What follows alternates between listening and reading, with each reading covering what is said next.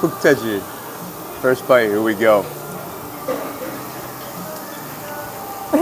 대박. Let me just explain what black pig is. It's a domestic pig that is here on Jeju Island. It's less gamey, you get less of that piggy taste. It's chewier, it's fattier, and it has a steak-like texture. Fucking delicious. We are here at Sok Songdo, I think.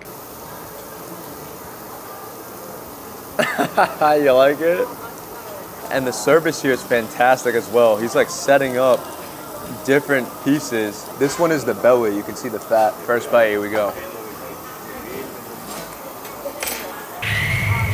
Oh my God, Jesus Christ, that is delicious. I love how thick it is. Very clean tasting. The fattiness is also like perfect. Definitely come here if you're ever in Jeju. You won't be disappointed.